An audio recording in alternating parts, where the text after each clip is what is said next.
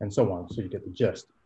But based on each individual's limited perspective, they were unable to make an accurate assessment of the whole creature as a whole, prohibiting them from having a holistic understanding of what it was that they were dealing with.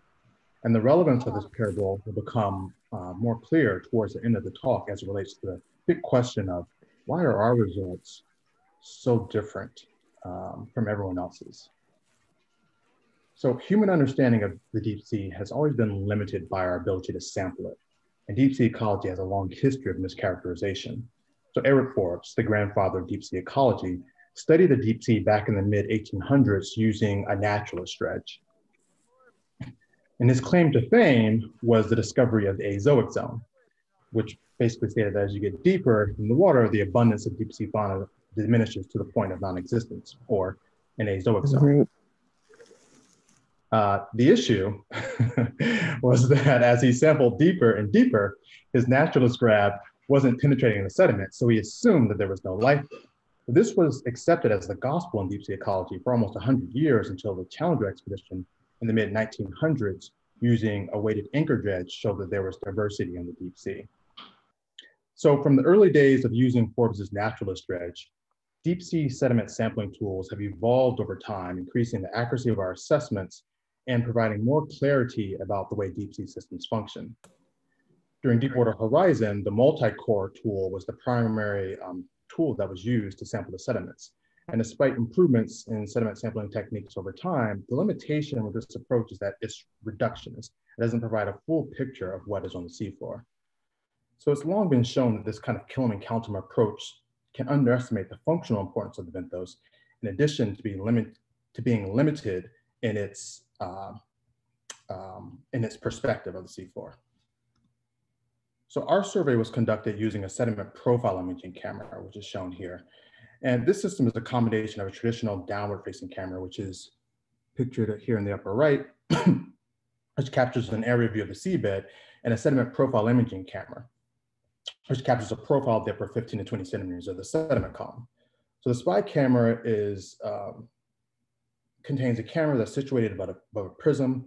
The prism is filled with distilled water and has a mirror at a 45 degree angle, which reflects the image from the faceplate up to the camera lens. And because the prism is filled with distilled water, there's always this optically clear path of view for image capture regardless of ambient turbidity. So the way that the system works is that as the system's lowered to the seabed, a weighted trigger activates the plan view camera, capturing an aerial view of the seafloor.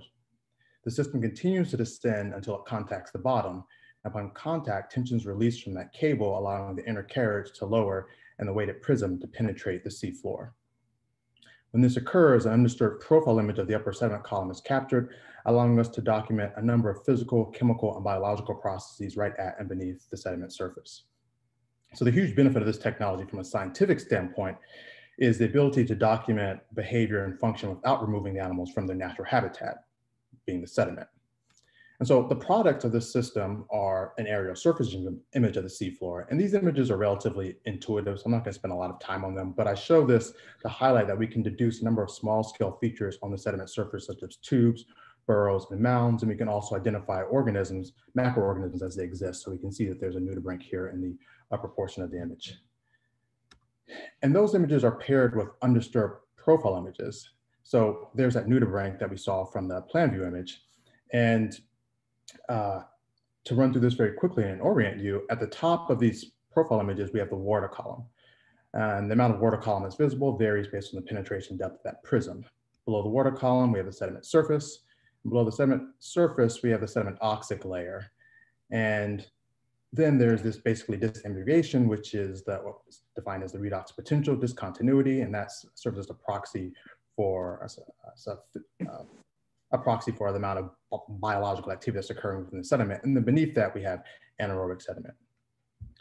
So it's easy, I think, to conceptualize the importance of seafloor environments like a kelp forest or a coral reef because we can easily visualize the complexity and diversity of the structures and organisms that exist there because they sit right there on the surface. When we compare those to like the soft bottom um, sediment, while there are some features on the seabed, as I highlighted before, the majority of the structural complexity that's important for understanding function and health exists beneath the opaque surface of the seafloor, which highlights the usefulness and power of sediment profile imaging.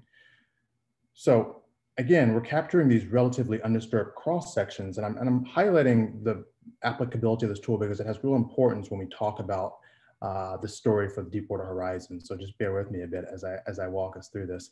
So this uh, particular example is showing the ability of this tool to be able to capture really sensitive features that are occurring right uh, at the bottom of the seafloor. And this is important because a lot of the important features that we are trying to deduce um, can be easily disturbed. So for example, the image on the left is showing uh, agglutinated foraminifera and notice how close the profile camera uh, was to capturing this image. And this particular image was captured on a study where sediment grabs are being collected along with, with uh, profile images. What was occurring was that as these grabs were going down and coming up, they were finding these calcareous fragments in the grabs and it was um, confusing to the scientists on board as to what was actually uh, going on with these calcareous fragments. It was only upon the survey was complete and the analyze, analyzation of the profile images that it was discovered that those calcareous fragments were from these agglutinated foraminifera. What was occurring was that as the grab was going down, the bow wave from the grab was shattering these sensitive taxa, uh, these fragile taxa um, during collection. And then the image on the right is showing uh, at the top here, essentially a flocculent layer of, of algae that is deposed or deposited on the ambient seafloor located here. And note that, you know, this type of material is, is extremely sensitive, it can be easily washed away by any sort of like current. And note that the profile camera has collected and documented this particular feature without disturbing or wiping or knocking off that uh, fluff that exists there. So there's real power here with SPI to capture in situ conditions as they exist um, compared to you know, using a sediment grab, which might disturb the bottom. The other real power of this approach is to be able to detect disturbance gradients, um, really effective at detecting and mapping disturbance gradients as they exist. And again, this has real importance for the Deepwater Horizon story. So in this example, the profile camera is being used to look at the effect of synthetic drilling muds on the bottom. And so uh, the little graphic at the bottom shows the relative location of the images that you're going to see relative to the drill location. So note that this particular survey, we essentially start out away from the drill on relatively undisturbed bottom. We start moving closer, you'll notice that the bottom gets disturbed and then we'll move back away, away from the, from the, the path of disturbance. So uh, starting out first, initially the image on the left, we see that there's this is a, an ambient bottom. As you start to move closer, the image on the right, you start to see indications of drilling mud within the particular uh, sediment profile. As we get uh, closer and closer to the well, we begin to see that the drilling muds takes up more and more uh, presence within the sediment column till we're essentially sampling right along the well. And uh, we're starting to see that not only is the majority portion of the sediment column all drilling muds, for example, as in this particular image, but also due to the high organic material that's here, we're seeing the presence of uh, theophilic bacteria, which are these filamentous strands that you see uh, on the sediment surface. So this is essentially a bacteria mat on the seafloor. Then as we step back away from the well, we see that the presence of drilling muds begins to decrease again until we're back on ambient bottom again. So I'm looking at these images, um, in addition to documenting and being able to assess preserve in situ conditions and also to be able to uh, spatially map out, we're also attempting to understand the health and the function of the benthic community. And this is really important uh, when it comes to assessing whether or not uh, disturbance is having an ecological impact. So there's a successional model that exists for marine benthic, benthic systems that holds true for soft bottom communities around the world. And it's represented in this conceptual diagram that I'm, I'm showing on the screen. This paradigm was defined independently by two groups of scientists in the late 1970s. And so the upper panel is from Long Island Sound and is assessing the impact of dredged material over time. And the lower panel, excuse me, is from the Scottish Sea, uh, looking at a pulp mill and is assessing the impact of mill waste over distance. And so I think what's really important here is to note that in each of these particular locations, uh, the taxa, individual taxa are different, um, but the functional role and response of those taxa within the community is the same. So the successional model describes the response of animals in the sediment to a disturbance. So if you get a disturbance that's large enough, you can denude the existing community, which will be your stage zero here on the left. And then the first, excuse me, settlers and recolonizers are opportunistic species that are the marine equivalent of fast growing weeds. Um, so I think the best way, the best analogy here is to think about forest fires. You know, after a severe forest fire, you don't immediately get hardwood trees, you have to undergo forest succession first. And the same thing happens in soft bottom benthic communities. At stage one, these are tiny worms that would fall through like a one millimeter sieve, often used during benthic grabs. But these worms help condition the sediment for larger worms in shallow burrows, which would be your stage two taxa. And finally, over time, you have large head down deposit feeders or burrows that are penetrating much deeper into the sediment, um, indicating that uh, there's a healthy, mature benthic community that exists. And one of the evidentiary lines that we use to assess if uh, uh, sediment community is at stage three, successional state, is through the presence of feeding voids. Whoops. Located here. Sometimes there's an animation that comes up. Uh, these um, the presence of these features within the sediment column suggests that the benthic community is healthy, and the organisms or taxa that produce these voids are relatively sensitive and would be some of the first to die off if an area was experiencing a disturbance. So here's an example of a healthy seafloor that is experiencing or has late stage succession. And you have a deep sedimenoxic layer. So that, um, again, that ARPD layer that I talked about earlier, but you can see the, the brown, rust red, brown color sediment extends deep within the sediment column. And you have a number of deep burrowing organisms. We can see animals within uh, their burrows that are up against the faceplate of the prism, as well as this feeding void that's been produced uh, by this organism here. So it's important to understand the functional status of the benthos because I think probably one of the most important functions that infauna serve within a marine ecosystem uh, that is susceptible to um, perturbation, uh, any sort of perturbation, is their influence on sediment geochemical and physical properties um, known as bioturbation. Um, this is the biological mixing of sediments. So bioturbation by infauna is an important ecosystem function, uh, and that varies based on you know, a number of things, sediment grain size, organic content and quality, community structure, and even season.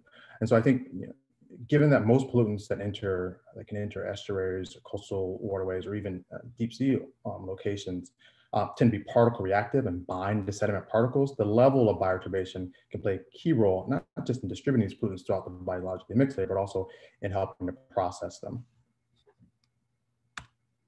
No, there's animation.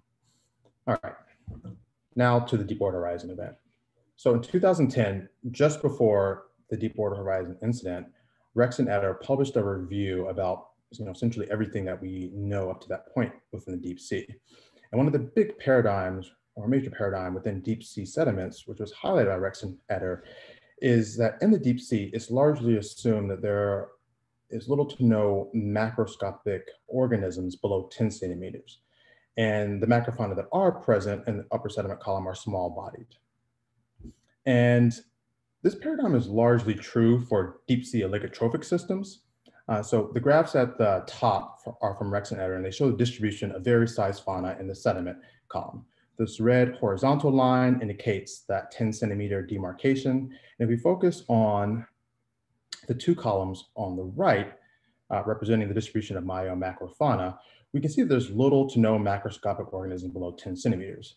And when we look at representative SPI from uh, a location that is uh, in an oligotrophic deep sea, we can see that um, there really is very little biological activity that's occurring deep within the sediment. So this is a um, sediment profile image that was captured from the Caspian Sea provide a sense of scale. This image is 20 centimeters by 15 centimeters. And in the image, we can see that there is no biological activity at depth and the sediment and the macrofauna that are present are confined uh, to these shallow depths and are of a small body size.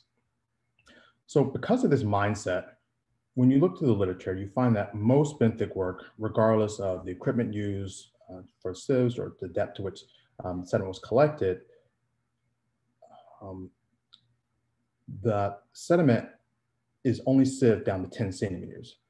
And part of the reason for this is if you ever tried to sieve consolidated clay, which is typical of subsurface deep sea sediments, uh, through like a 250 miller sieve, you understand this is quite difficult and why deep sea ecologists are reluctant to sample below 10 centimeters, especially if there's nothing there. So in the spring of 2010, a disaster occurred. The blowout at the Macondo wellhead resulted in the loss of 11 lives and the release of approximately 5 million barrels of crude oil and natural gas into the Gulf of Mexico. And this was different from many other spills. This was not simply some tanker run aground. No, this was a blowout that occurred offshore at depth and an order of magnitude larger than anything else in American history. And the results from that spill had wide reaching implications, um, impairing both the water column, shallow water coastal communities, and the Gulf economy. Excuse me. This is the disaster that everyone saw at the surface. The story that I'm presenting today is what happened at depth. And with respect to the deep sea floor, many of the disastrous impacts have been unintentionally over exaggerated. So this is the plume that we all saw on the live feed. And everyone knows that this is bad but visually it's reminiscent of another deep sea phenomenon, those black smoker chimneys at hydrothermal vents, which also release toxic material but have an unexpected positive effect, enriching the surrounding oligotrophic seafloor, allowing for diverse and large-bodied life to propagate. So following the spill, what did the public care about this event? There are two primary messages that were conveyed. The first was that the recovery from the spill would be long lasting, taking decades or longer. And the second was just how extensive the damage was, both in terms of severity and in breadth, presenting the area around the wellhead as a dead zone. Now, what really hurt BP and why they had to settle for such an obscene amount of money uh, with respect to the spill wasn't just the damage, but also that they had no baseline data. So they couldn't make an assessment on injury. There was only one location with baseline data that was remotely near the Macondo well, and it occurred at a site known as Viosca Knoll, which is approximately 50 kilometers away from Macondo. So I, I, showed some of these images earlier when we were discussing how the SPI system can document disturbance gradients and the impact of drilling muds on the benthos. So Viosca Knoll was a survey that took place in 2000, and it was done to assess drilling muds on the benthos. The site was sampled in uh, the was sampled in 2000 and almost a decade later it was resampled. And so this is a PV image from that specific work. And so you note on the bottom that there are tracks on the, on the surface and some small and large burrows. And this is again 10 years after um, the site was initially um, sampled. And so here's a footprint of the SPI camera. And here's what the center profile looks like. So this is again 10 years after the initial disturbance. So in the SPI, we can see the optical signature of the old drilling mud of the old uh, drilling mud, which is this central layer here, as well as the uh, historical seafloor and this more um, recent deposition that's occurred. But more importantly, whoops, more importantly, we can see that there are animals that are burrowing through this material deep down into the sediment, even as deep as the, um, through this old drilling mud layer, and even as deep as uh, the relic uh, surface much deeper than 10 centimeters because again, drilling muds are organic and so there's food there for these animals to mine. So deeping, deeper burrowing than what's normally observed in a deep sea system.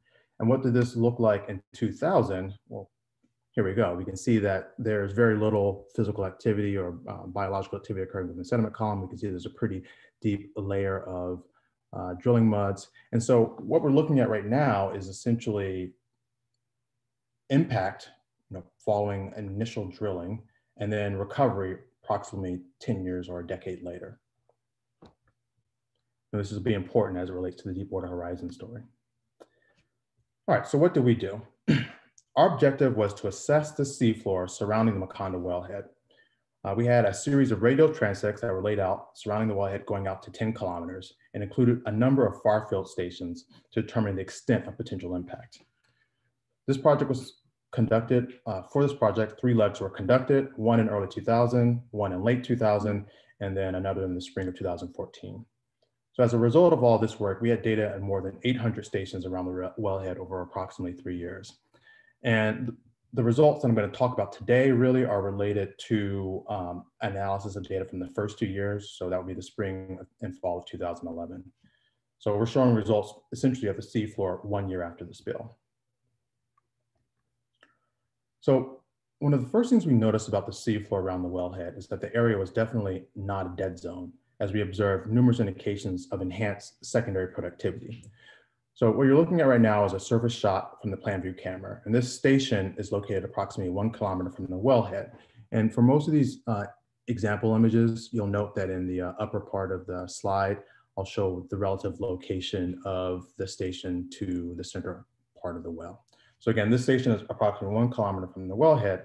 And in the image, we observe dense polychaete inforaminifer tubes blanketing the bottom. In addition to these small tubes, we also observed elasopodia, which are uh, these unique sea cucumbers that walk around on uh, leg-like projections, foraging around on the bottom. And if we then take a look at the sediment profile image at this particular station, we found a thick oxic layer that's three to four centimeters beneath the sediment surface. And along with the deep oxic layer, we also see quite a bit of reworking in the sediment, indicating in-fauna activity. So again, this is an area that was supposed to be considered a dead zone, you know, one year after the spill, but we're finding numerous indications of macroscopic life from both the plan view and sediment profile image. More importantly, we're finding evidence of mature benthic communities as evidenced by the presence of feeding voids within the sediment. Again, feeding voids are the product of head down deposit feeders and their presence is an indication that there's organic enrichment allowing for the sediments to be mined. And so this is something that you would only see at heterotrophic conditions. And if we move closer to the wellhead, this next station is 300 meters from the wellhead to the east. And one of the major observations at this particular location was our ability to see evidence of oil in the sediment. Oh, sorry, someone's calling my phone. the ability to see evidence of oil in the sediment. Um, and so you can see that oil uh, up against the faceplate of the prism as it, those droplets are transected or those globules are transected and smeared. And so again, remembering in the beginning, the deep sea paradigm about there being um, little to no macroscopic life below 10 centimeters, in this SPI image, I've demarcated that 10 centimeter depth with a horizontal white line. And with this reference mark, you can see evidence of feeding voids of head down deposit feeders, again, mature benthic organisms, both above and below the 10 centimeter depth. At the surface, we're also able to observe a number of spionid worm tubes covered in fecal pellets. Be located basically right here and right there. So what's important from this representative image is not just that there's macroscopic life so close to the wellhead, but that the macroscopic life is present, large body and occurring below the 10 centimeter depth. So these observations completely contradict deep sea, deep sea benthic paradigm and this notion that you know, immediately following uh, the spill, the area around the wellhead was a dead zone. So we take a look at another station approximately 200 meters from the wellhead. Again, this is one year after the spill. And I should point out that there was a 200 meter exclusion zone around the wellhead because of debris. So that was the closest that we were able to sample. What we see here is a seafloor that's covered in vegetative mats, but there is also a high density of polychaetes present. So if we zoom in, we can see a fecal mound Oops. You can see a fecal mound located here from a head down deposit feeder, as well as numerous polychaete tubes. You can actually even see a polychaete on the sediment surface right here. When we look at the SPI, again, we see evidence of animals burrowing with deep reworking that's occurring, as well as the presence of those important head down deposit feeders due to the presence of feeding voids in the sediment column. Now, we also observed evidence of enrichment even farther out from the wellhead than was expected. So this station is approximately three kilometers from the wellhead. And again, I've demarcated that 10 centimeter depth in the sediment column. And in this image, you can see numerous indications of biogenic activity of head down deposit feeders from the voids they produce well below the 10 centimeter depth. And again, if we enlarge a portion of the image, you can see that these are big worms that are down at this depth feeding. So we were also able to document the results of the top kill effort. I'm not sure if you really remember those. Top kill was an effort to stop the spill by plugging it from the top. So drilling muds were pumped into the well in an effort to clog it. And the results were, as you might expect, those muds just shot right back up and went off in a northwest direction, creating a footprint on the seafloor. And so if we look at uh, PV image of this area, um, this is the area that's nearest to the wellhead uh, within that direction that the top kill effort kind of spread out. When we look at this PV image, again, this is one year after the spill, we can see that the seafloor almost looks like a lunar landscape. Most of the surface is drilling muds, but also note there are a number of tracks from animals that are foraging around through it. So this area, despite being um, um, disturbed and severely impacted by that top kill effort, there's still lots of organisms out that are, um, lots of macroscopic organisms that are, that are feeding in this material. And when we looked at the depth of bioturbation, oh, and so when we look at the SPI at this particular image, we can also see that not only are there animals foraging on the seafloor surface, we also have, again, indications of head down deposit feeders due to the uh, numerous voids that are present within the sediment column. So those are representative, but when we look at the depth of bioturbation at all of our stations from both legs, so this would be both the spring and fall of 2011, we found deep burrowing to be ubiquitous around the wellhead. So from the map key in the lower left, the blue color indicates the depth of bioturbation that only extends to 10 centimeters. So that would be essentially representative of that deep sea paradigm. Now take a look at this map. Do you see any blue dots on here? At every station that we sampled around the wellhead, we observed evidence in the presence of deep bioturbating organisms. This is a picture that was taken from a blog um, by a, a, researcher named Samantha Joye, and she conducted a lot of work on the Gulf of Mexico seafloor following the Deepwater Horizon. And from her post, Joye was implying that this entire core was oil because of the pink color of the sediment below the surface.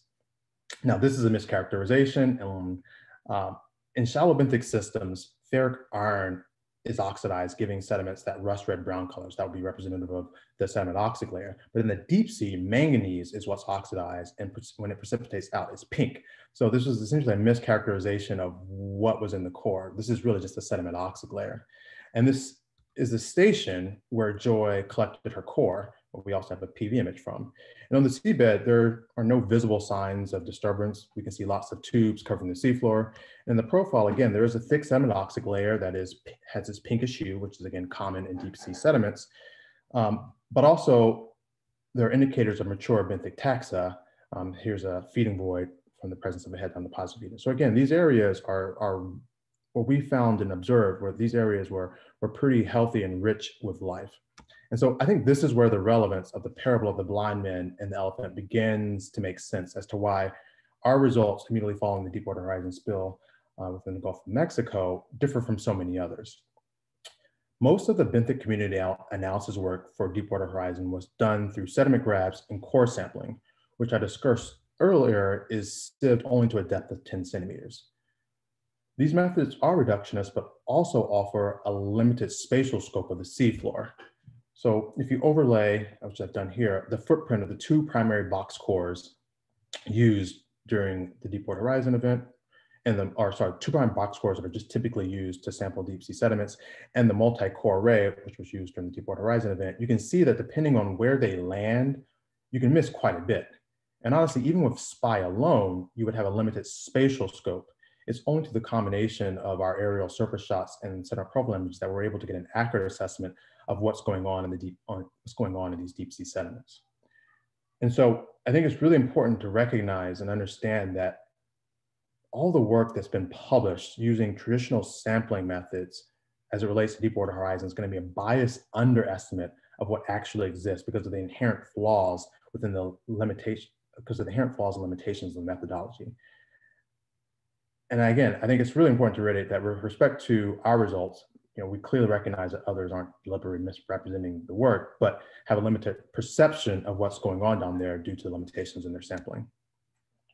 So at one year after the spill, when trying to determine biological impact from the Deepwater Horizon event on deep sea Gulf of Mexico, there was only one variable, variable where we could see uh, impact, and that was with the ARPD depth. And again, the ARPD depth was a representation of the essentially the depth of the uh, sediment layer within uh, the sediment. So these graphs show the ARPD depth on the y-axis in centimeters and the distance from the wellhead on the x-axis in kilometers. And each one of these graphs represents a different transect from our radial spire that I showed earlier. So you can see that for each of the transects for the ARPD depth, ARPD is much shallower near the wellhead and gets deeper the further away that you get from the wellhead. And when we look at all the transects together, the inflection point for the ARPD depth moving away from the wellhead center occurs at approximately two kilometers from the wellhead. And so, oops. So what more recently was in the news with regards to Deepwater Horizon? So this was, you know, five years after the spill. Um, you know, five years after the spill, it was still being reported that oil uh, was persisting and was scattered out far from the wellhead. And more importantly, in publications that were, uh, were still coming out, it was suggested that you know, one year after the spill, deep sea benthos were still impaired and would require quite a bit of time from, for recovery. Now, from our observations, we observed much less of a footprint. If we look at the actual area of the seafloor, one year post the spill in 2011, affected at a 95% uh, confidence interval, we found the range of effect was you know, 2.3 kilometers or roughly 3.7 square miles, much less than reported by, by, by others. And again, we're defining effect based on ecosystem service, ecosystem services that were impacted. And again, from our observations, the only uh, metric that we assessed and documented that was impacted was the depth of the ARPD. So a quick little summary of the results. We found that, you know, in general, uh, which I didn't touch on too much, the sediment grain size is pretty uniform throughout. You know, it's a low energy depositional environment. There were opt optically distinct depositional layers from the wellhead or, or the incident response that existed. So that would be that top kill effect. Um, we didn't find or document any extensive areas of an anoxic sediment, though there were thiophilic bacteria mats that extended out approximately know, 1.3 kilometers from the wellhead. We were able to document oil droplets in the sediment that were evident in the surface deposition about out to about two kilometers from the wellhead. Uh, we didn't document any azoic area. In fact, we uh, found that there was a diverse benthic community uh, with head down deposit feeding taxa that existed at all the samples, all the locations that we sampled throughout the and around the wellhead. Uh, and that the enhanced area of secondary productivity uh, extended beyond the three to 500 meters and even further out to you know one to two kilometers away from the wellhead. Uh, but more importantly, uh, we noted that this existing paradigm that seems to uh, exist within the deep sea regarding benthic community structure um, tends to be incorrect. You know, we, we found that there were just you know, more evidentiary at every station we, we documented and assessed that there was evidence of deep burrowing fauna. And I think, again, more importantly, despite the dire predictions to the contrary, recolonization following the spill was quite rapid and followed, you know, really a pattern reported for uh, seep communities. So I think when we, when we start to assess both the results that we found following Deepwater Horizon, uh, along with what was being reported and, and why uh, some of the predictions were just so far off. I think in most people's mind, the big issue is that people view the deep sea like a biological desert because of its relatively uniform sediment type, the low temperature, and generally low biomass of infauna. And certainly some deserts like the Sahara are homogeneous with low rainfall. But then you have other deserts like the Sonora with the same physical conditions, but the difference being nutrient input. And when you had, add nutrients to a system, you get a different biological response. And so the phenomenon around Deepwater Horizon is the exact same that you see around uh, hydrothermal vents and cold seeps. You have a single point source of organic enrichment in an oligotrophic area that has the ability to enhance not just microbial production, but also macro production. And this hypothesis was recently backed up by work from Love et al., uh, showing that microbial hydrocarbon, hydrocarbon production occurs on scales previously unrealized in the, in the deep sea.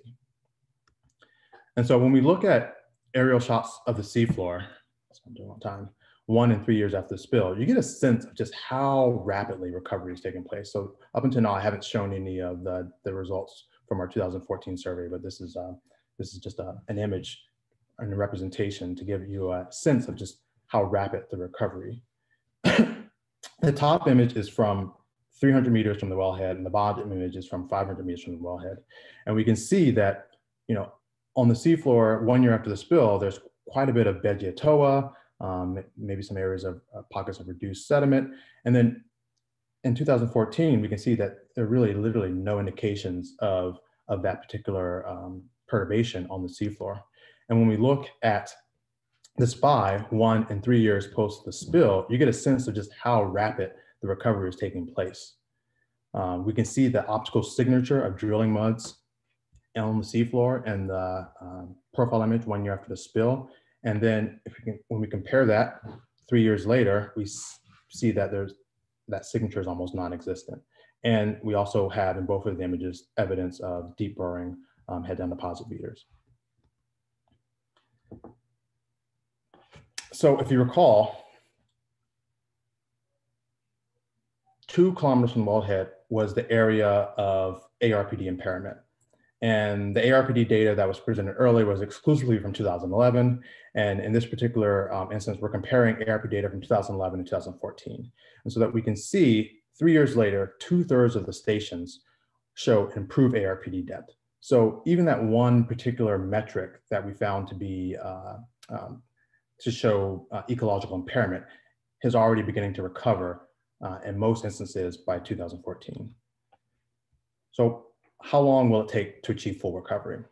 Uh, we suspect or hypothesize that history will repeat itself. If you recall the presentation of the impact of synthetic drilling muds on the bottom from the Viosca Knoll site in the Gulf of Mexico, you remember that in roughly a decade, the system had recovered to ambient bottom or to ambient background conditions.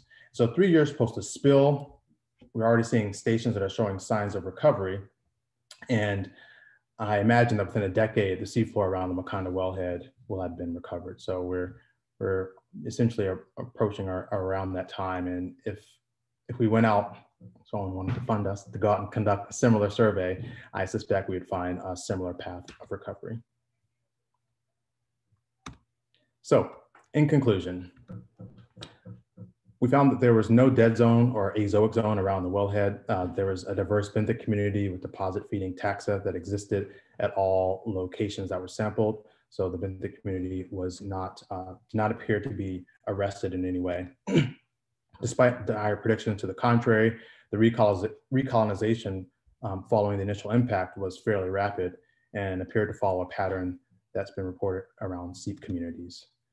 Uh, more importantly, this paradigm that exists in, in related to the deep sea uh, with there being little to no animals below 10 centimeters um, is incorrect.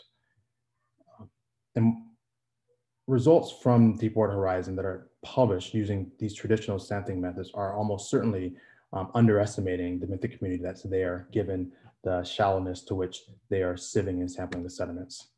And finally, I think uh, there's this particular study just shows the real value of taking uh, a visual view of the seafloor and getting a kind of this holistic perspective of what's occurring. So with that, I'll take any questions. Ah, 40-ish minutes. Great, thank you so much. That was amazing. Um, if anyone has any questions, feel free to unmute yourself um, or you can throw them in the chat as well.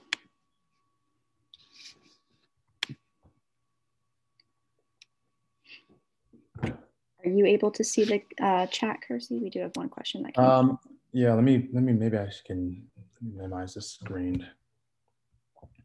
Uh, oh, they didn't make the other screen blow up. Uh, I can just read it out if that's easier. Yeah, why don't you just, just yep. do that? From Ian, uh, he's wondering if you could speak to any observed compositional shifts in addition to the unexpected presence or absence perhaps a shift to more tolerant assemblages? Yeah, that's a good question. I think what's really important to understand about the method that we utilize to sample the seafloor is that it does not assess um, specific taxa from a species perspective. So you're not going to be able to generate species lists and assess how uh, a community might shift in terms of the taxa that are present there at a species level. The profile approach is more focused at assessing functional diversity. And so we can assess, uh, you know, whether or not uh, different functional types are there by the evidentiary lines that we're um, uh, interpreting within the sediment, but not uh, a species assemblage list. Thank you. Um, Karen Wishner um, is asking if you could describe your analysis methods briefly, how you determined a single ARDP, ARPD uh, depth with all the spiky variability. Yeah, sorry, what was the last part? The something variability? Uh, with the spiky variability um, when you were trying to pick your depths. Yeah, yeah, no, that's that's a good that's a good question. And so, you know, essentially what we do is that for every image that we collect, we um, measure the relative area of the ARPD. So if I, let me see, blow the screen up again. we would essentially, let's just say, you know, this is the ARPD layer here. We would essentially quantify this area, get an average depth for a particular image. At each station, which I didn't point out, we collect replicate images. So we have three replicate images per station. So if there was any sort of small scale spatial heterogeneity, we would hopefully capture that. And then we get a mean for that particular uh, station location. And then we take that information and extrapolate it out for the, the number of stations that we get. So you get all that variability due to the replication that's, that's occurring from the uh, quantification. I hope that answered the question.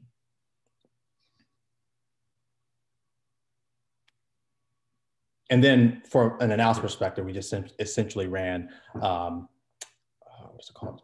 Paired linear regression, or uh, is that what it's called? Something like that. Essentially a paired linear regression. Yeah, I have a question. If, if you don't, the um, the feeding voids that you see in the SIP images, how long will they stay around? Say that worm is gone, that, and how long would that structure stay around?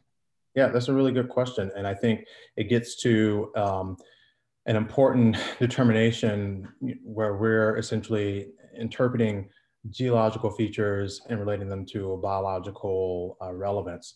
And you know, the, the, the reality is that more often than not, when we're looking at these images, these feeding voids have signatures around them that indicate that they are or have recently been active. And one of the, the signatures that's the telltale sign of, of activity is this little oxic halo that can exist around a void.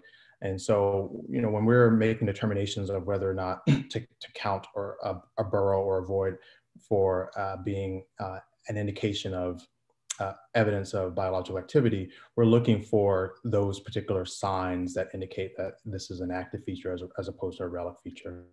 As far as how long do they stay around, um, my observations is, is not very long, uh, you know, less than, it, it, depends on the area. If you're in an area that's biologically active, not very long. If you're in an area that is, uh, say, relatively anoxic you know, and, and stable, um, they could probably last for quite a bit of time. Great, thanks. Hi there, I have a question. Um, and I, thanks so much for a great talk. It was really great. Um, I did get interrupted partway through, so I apologize if you did talk about this. But what I was curious about is you saw this great recovery. Do you think that it's related to the fact that this area is an area that has a lot of active seepage already? I guess when we think about like the microbial response to the spill, I think a lot of the messaging is that you know, this is an area that where microbes are, the, the communities there are ready to, to deal with hydrocarbons because there's natural seepage. Do you think this is relates to what you've seen too, that the recovery is because the, the metazoan communities in this area are already sort of adapted for dealing with these conditions? Yeah, absolutely. And I think what's really important to understand here is that the um, the macroorganisms that we are focusing on here that are that we're utilizing as our base for recovery, they're they're really just vessels for the microbial community. Um, so the microbes are doing all the, the, the heavy work, the heavy work here, and certainly from a, evolutionary perspective, given the fact that the Gulf of Mexico is an active seep zone and location, you have this microbial community that has evolved over time to uh, be able to process these hydrocarbons. A lot of the really toxic aromatics that were in the crude oil, a lot of that got burned off before it even settled to the bottom. So a lot of the uh, hydrocarbons that were settling on the bottom had the aromatics already burned out of them by the water column microbes. And then the gut microbes that are in the that are associated with these polychaete organisms, um, you know, they're essentially just eating food at that point because a lot of the really toxic stuff had already been processed. So short answer, yes, this is certainly I believe the results that we're seeing here are representative of a unique system where the certainly at least the macro or organisms within the sediment and the microbial community have evolved to be able to handle this huge influx. Uh, would you expect to see this same replication in other systems? It's hard to say. I, I would suspect maybe not. Great, thanks. That's good. I would suspect maybe not, but we do also have, and this is a, uh, one of the, this. Do I, have, uh, let me see if I put this, I meant to throw this on. Oh, you know, I don't think I did. Oh, well, this will be a good representation. I, I suspect maybe not, but we, this is part of one of the papers we're working on. We've started to dig in a little more into this phenomenon of deep sea bioturbators around um, areas that have been anthropogenically enriched. And so obviously we have the Gulf of Mexico location here, which is the deep um, from Deepwater Horizon. And going back through some of the other uh, work that we've done, we're, what we're finding is that this instance of there being essentially a influx of a large quantity of organic material into the deep sea over a relatively short time period does seem to be stimulating these bioturbative activities that we see in the deep sea. So this particular example here is from is off the coast of California, and it's from dredge material that's being deposited in the deep sea. And you can see again, uh, this is in an area where there's the dredge material. There's just chock full of um, these um, uh, these feeding voids. And when we compare that, which I don't have an example to show, when we compare that to areas outside of that dredge material zone, you, you tend to see a, a deep sea flood that looks more like what we're this particular representative example. This is that Viosca Knoll site. Uh, we went back and looked at a lot of those images. And again, we were, we were finding that even in these areas where there was this high level of disturbance from the synthetic drilling muds on the bottom, we were still seeing uh, deep burrows, um, deep head down deposit feeding organisms. And then this particular location is in the Ivorian Basin. And it's again around um, a drilling rig and drilling muds. And again, we were finding evidence again of deep head down deposit feeding organisms. So I, I I, my, I think my initial impression was that this particular phenomenon that we are observing in the Gulf of Mexico was a unique Gulf of Mexico specific uh, response, but I don't, I don't think that's the case. I think that uh, the larger deep sea um, has the ability and capacity when there is this uh, large mm, organic material that's deposited over a relatively short amount of time to respond to it in a way that I think was previously unrealized. And I had another really good, oh no, I don't have it. We have another really good, um, we have the organic, a lot of these locations have uh, associated organic content, sediment organic content uh, data with them. And when we correlated the two with bioturbation depth, the trend is actually quite strong. I can't believe I forgot to put that slide up here. That's a really good question though. We did have one other question in the chat from um, Andrew Davies. Um, his question is, what was the impact of the SPI camera on the seafloor in terms of footprint? Hmm. That is a good question. And the impact is minimal. I usually have, usually have a slide that shows, oh, I don't have it on here, that shows uh, the footprint of the, excuse me, of the profile camera after it's basically been pulled up, the plan view camera plan view camera accidentally triggers, and you get a, a sense what the footprint is, and it's it's very minimal. You, get, you have a slight impression from the base frame, and then you know you, if you if you've ever seen what a sediment grab looks like after it's pulled up its grab and like the whole seafloor is just like disturbed and there's reduced uh, sediment all over the place, it's nothing like that. It's really just like this imprint on the bottom of where this thing has landed as the prism pulls back out the sediment kind of fills back in and uh, the only indication really that the system was there was due to the, the imprint from the, the base frame. But when we're collecting the sediment, you know, there is a, you know, it's minimally invasive and, uh, and, I, and we use that term minimally because you'll, you'll notice that all of the profile images have this streaking associated with them. So when we're doing these interpretations, we're having to factor in and account for the fact that, you know, this, where this actual dredge um, dredge material, excuse me, where this uh, drilling mud is, is, extended in the actual uh, in the actual profile image isn't isn't accurate. You know, this is a, an artifact of the the drag down that exists. So we have to counterbalance counter for that as part of our measurements. And it's the same thing with the the depth of the sediment oxide layer. You know, this is an artificial depth that is due to some of the drag down.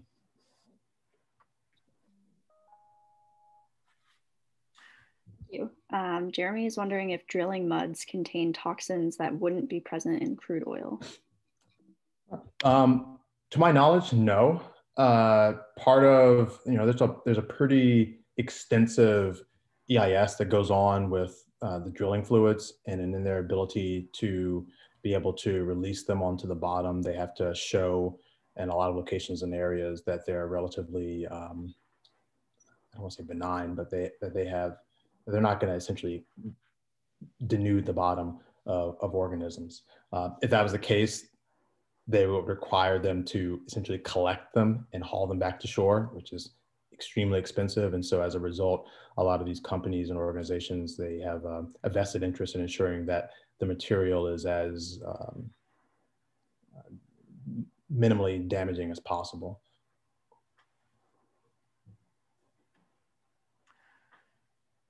Hey, Kersey, question here. Um, oh, hey, Giancarlo. Oh, hi, Kersey.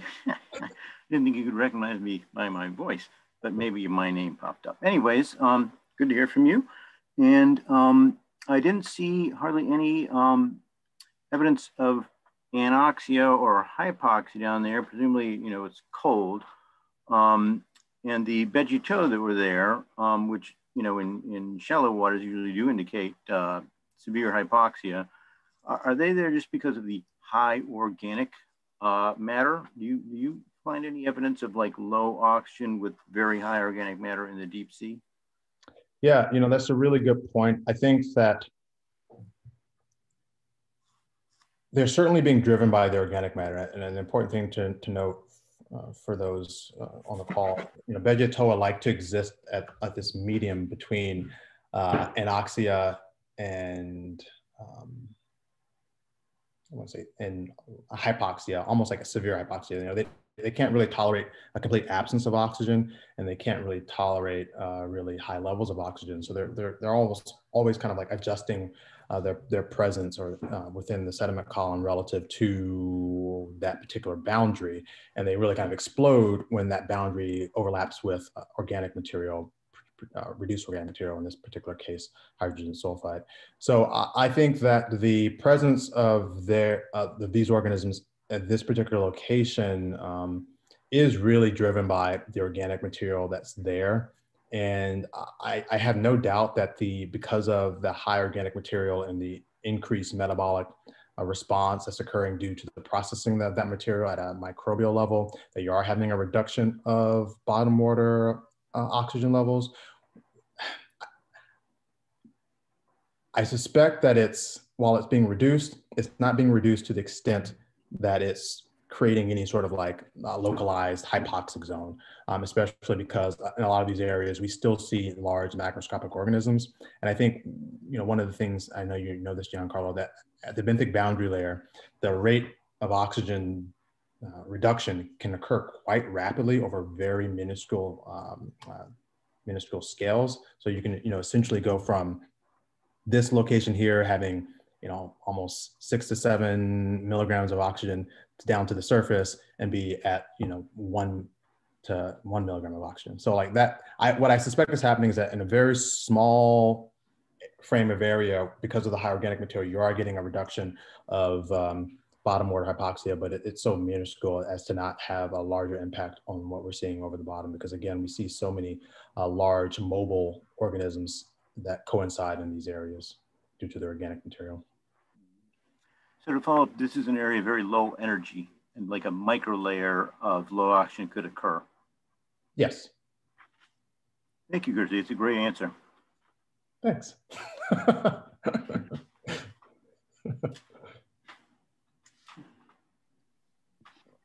um, Catalina Martinez is asking if you could tell us about your new nonprofit to make the deep sea more accessible and your engagement work around that effort. Oh yeah, certainly. Um, so you're she's referring to oceanography for everyone. This was a venture that I started with a colleague at Duke, and it was born out of a frustration for due to the expensive nature of oceanographic equipment, and when these pieces of equipment breaking and being expensive to repair. And be truthfully honest, we were drunkenly sitting around one night uh, talking about how we could build something that was equally as accurate for thousands of dollars less. And the next morning when we sobered up, we did a little proof of concept, run, making a run to Radio Shack, and we we developed the first uh, proof of concept for this device we called OpenCTD, and we use that to crowdsource uh, money to essentially try to make that tool scientifically accurate. And our initial goal was to develop a CTD that could sample to a depth of 200 meters, you know, roughly the continental shelf, that you could put together for uh, tools that are roughly um, roughly around the cost of $100. Recognizing that a lot of the um, big effort and expense is the proprietary information about how to calibrate the, the equipment so that you're able to get the accurate measurements. And so it was certainly a journey um, over a number of years that that we worked on this particular device. Over that time, we really kind of found through engagement that there was a community of people that were really interested in the idea of developing open source tools. That developed into open source oceanography and the development of a few other open source uh, hardware tools. And the end result was that, at least for this particular project that catalyzed it all, OpenCTD, we managed to get the device to being approximately 2% accurate, accurate of um, a more expensive uh, CTD or your standard commercial CTDs and down to a depth of 200 meters and for the low, low cost of $300. And so we, as was our intention with all the tools, um, have all the build instructions and the software and, and even instructions on how to like just learn how to do basic things like soldering and that kind of thing on our, our particular website using GitHub and the open source community. And our, our goal was to try and empower researchers, um, both researchers who might necessarily might not necessarily have the funding to buy a 5,000 or $25,000 piece of equipment, as well as researchers who might be in locations in areas where some of these tools are just inaccessible. And with the idea being like, oh, if it breaks, it's so cheap, you just throw it away and just build a new, build a new one. Um, so yeah, that's oceanography for everyone. Um, feel free to check it out and provide feedback. Great, thank you so much, Kersey. Um, that was that was really really wonderful. Um, just a reminder to students and postdocs that you're free to stay on the call um, if you want to chat further. And thank you everyone so much for coming and being so engaging today. Thanks all.